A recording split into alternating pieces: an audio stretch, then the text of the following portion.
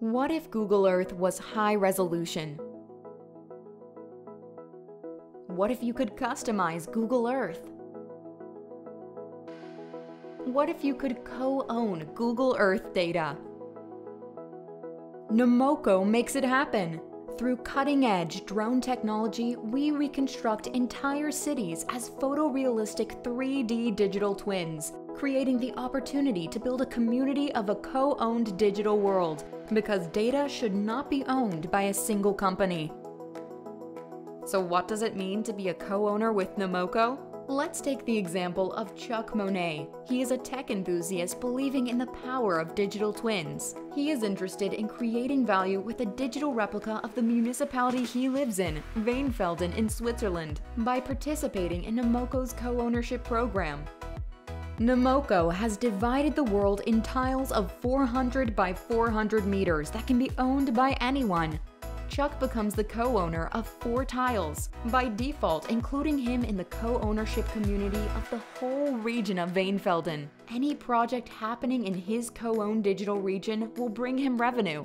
Here's how. Via the Nomoko platform, Jenny Planner, a real estate developer, is requesting floor potential information for an existing building in Weinfelden. The calculation is done on the digital twin co-owned by Chuck. A part of the revenue for using that data is automatically shared with him. Ellen Mason is an architect. She wants to verify the shadow impact of her project on the built environment by placing a CAD model in the digital twin of Weinfelden.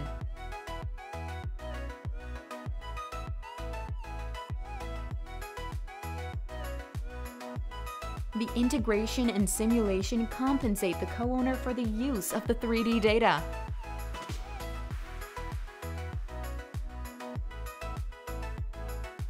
Finally, ImmoCloud, a real estate platform, embeds Nomoko's digital twin on their platform, replacing the traditional 2D map to show their listing in a more immersive 3D environment. This data usage is again a passive revenue generator for the co-owner.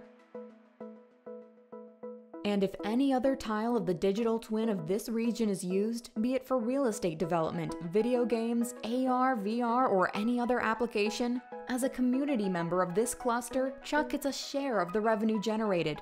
It's as easy as that. Because he is part of the co-owners community, when Chuck promotes Nomoko's 3D services for a construction project for the municipality of Unta even if Chuck doesn't own any tile in the area, he gets a commission on the revenue of this project. Choose the tile of land you'd like to co-own and join the journey towards a digitized and machine-readable world.